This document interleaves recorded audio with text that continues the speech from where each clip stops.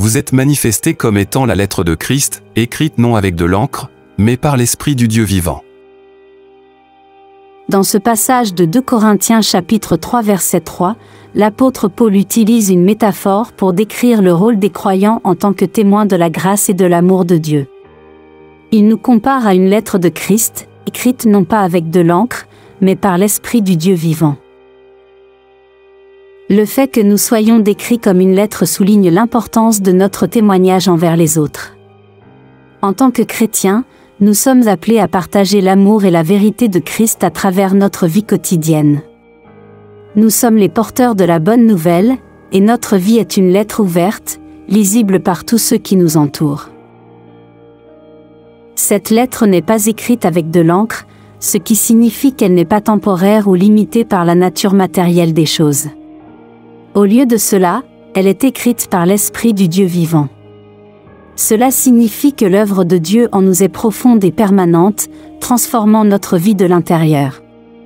L'Esprit de Dieu nous guide et nous inspire pour vivre selon la volonté de Dieu, reflétant ainsi la lumière de Christ dans notre monde. Qu'est-ce que cela signifie d'être une lettre de Christ pour les autres? Être une lettre de Christ pour les autres signifie que notre vie est un témoignage vivant de l'amour, de la grâce et de la vérité de Dieu. En tant que chrétiens, nous sommes appelés à refléter le caractère de Christ dans nos actions et notre manière de vivre. Ainsi, les autres peuvent voir l'œuvre de Dieu en nous et être attirés vers lui. Comment l'Esprit du Dieu vivant œuvre-t-il en nous pour écrire cette lettre? l'Esprit du Dieu vivant œuvre en nous en transformant nos cœurs et nos esprits pour qu'ils soient conformes à la volonté de Dieu. Il nous guide dans notre croissance spirituelle, nous aide à comprendre la parole de Dieu et nous équipe pour vivre une vie qui honore et glorifie Dieu.